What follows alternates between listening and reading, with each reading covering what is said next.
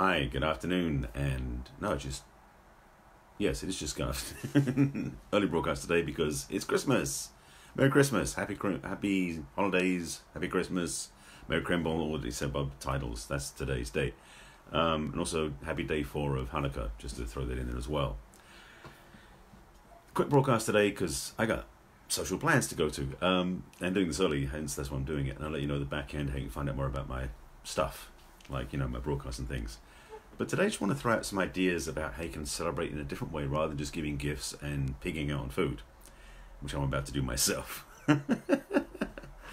um, real quick, I'm, my invitation to you is today is be more generous with yourself and with other people. Be more joyful, be more loving, be more receptive to good things coming back to you as well. Today is a day where it's oftentimes where people are efforting to go visit friends, do certain things to serve, which is great. But can you be more generous in your heart to yourself? Can you be more generous to those people you are challenged by? I had an opportunity last night to go through that one. I haven't finished it yet, but I'm going through it. So my, my invitation to you today is really about looking at how you can be more in flow in your life. By being more generous, more receptive, more joyful, more happy, more loving, all these different things, you create more effortlessness in your life. You become more flow oriented. You become more able to move through life in more graceful ways like ice skating professionally, really good. Let you flow more gently, which is what I think is a good idea. So today, as it's Christmas Day, officially, a chance comes. Up, there's a chance on your um, on your plate, so to speak, to be that wherever you are today, with with friends or out on your own or where, or with family, whatever you're doing today. How can you be more loving, more joyful, more generous, more receptive, more giving, more receiving, all those things in a way that is uplifting to yourself and other people? I'm not going to give you the answer to this. This is an invitation to you. These are the things I'm inviting you to look at to do for yourself. So it's going to be a short broadcast. I'm also going to let you know that. Um, let me finish. Um, I don't want to jump into my promotional piece before I finish talking about this. But the thing about today is it's an opportunity to, in a way, forgive the past. and I play with this one. It came up, so going to talk about it. Christmas is a wonderful time for gift giving and receiving all sorts of stuff. But if you're still carrying grudges or upsets or resentments or guilt from other things in the past, you're actually hurting yourself. You're not as free as you'd like to be. You're not as able to give as much. You're not able to be as generous or receptive as you'd like to be. So, my encouragement to you today is if you are willing to, to start letting go, undoing the knots and letting go of those past judgments, resentments, and, and upsets. Because when you do let go of those things, you'll be much more free, more happy, more able to flow again, and be more generous too, because you're not as constricted. And I talk, I've done talks more specifically about resentment, about guilt, about judgment, about those things, and forgiveness before a few weeks ago. So I'll tell you waiting for the replays for those in a moment. Because if you do that, you actually end the year on a much higher note, and you certainly start 2020 in a much bigger, more positive, more powerful direction. And isn't that what you want? So a couple of things to support that.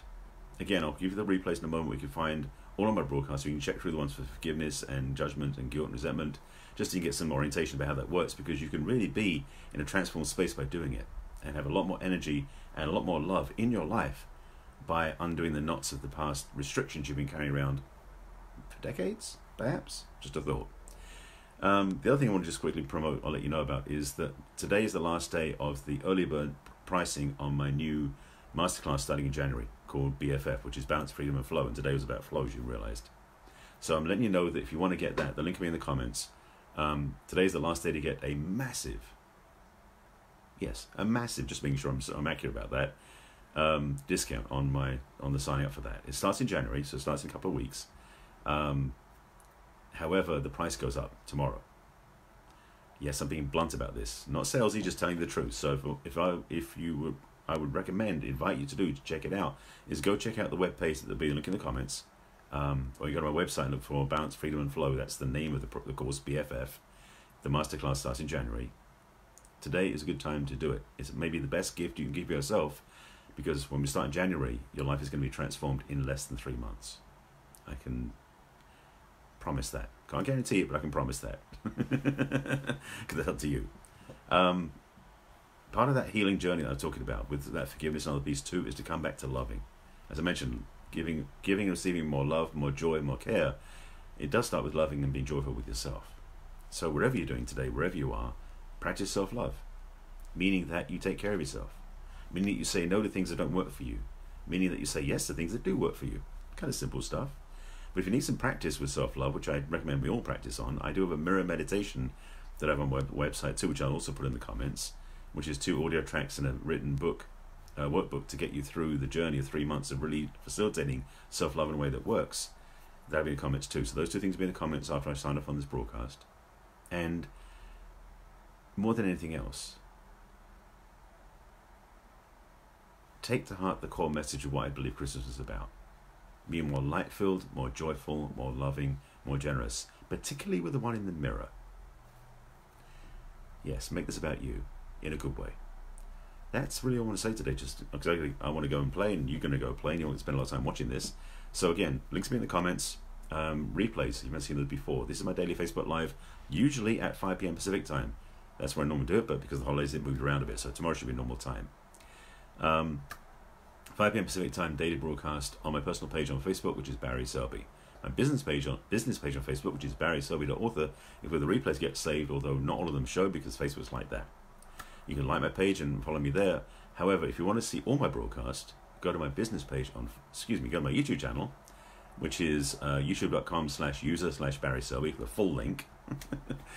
Um, please subscribe to my channel, and on there is a playlist called Messages for the Masculine, but all on my broadcast list, and including the ones I mentioned earlier, the Forgiveness one and the Judgment one. Those are all on there. You can check them out, scan through the titles, and get some teachings and some insights there to help you.